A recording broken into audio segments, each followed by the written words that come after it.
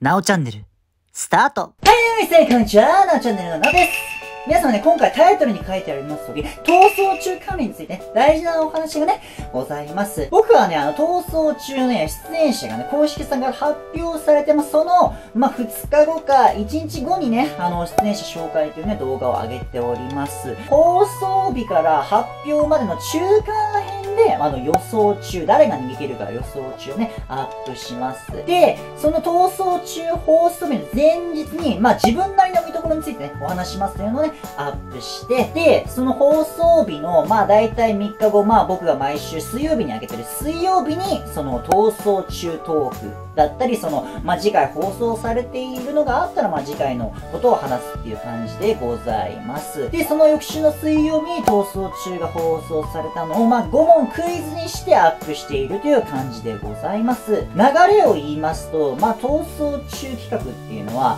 まあ、逃走中出演者紹介を出して、で、その後予想中を出します。で、その後に、その自分なりに見どころについてお話しします。で、その放送日の3日後水曜日に、その逃走中トークで、その翌週の水曜日に、その逃走中クイズをするという感じでございますね。なので、5つの項目で、えー、逃走中企画をアップしておりますので、まあ、こういう順番、まあ、下に書いてある通りに、なっておりますので、そういう感じでアップしておりますので、よろしくお願いします。戦闘中もね、ちょっとクイズとかは、まあ、その逃走中クイズの伸びが良かったら、その戦闘中放送があって、まあ、翌週の水曜日にクイズをアップしていきたいなという気持ちでございます。そしてね、大事な話、もう一つございます。僕はですね、12月31日までね、チャンネル登録者数をね、3000人目指しております。で、もう本当だったらもう1万人を目指したいなと思います。なのでね、そのバトルロワイヤル逃走中だったりとか、大晦日の逃走中がね、